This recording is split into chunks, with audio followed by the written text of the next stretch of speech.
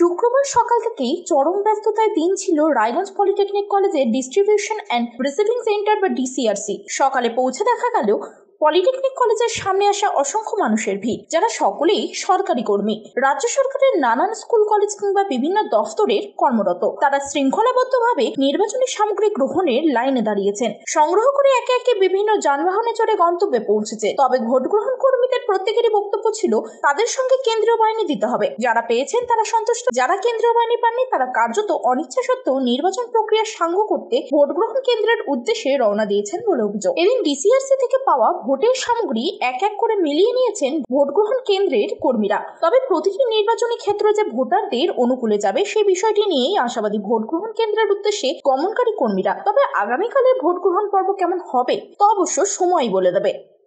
Raiganj polytechnic college ঘুরে বিশ্বনাথ দাসের report, Times, fourteen Bangla.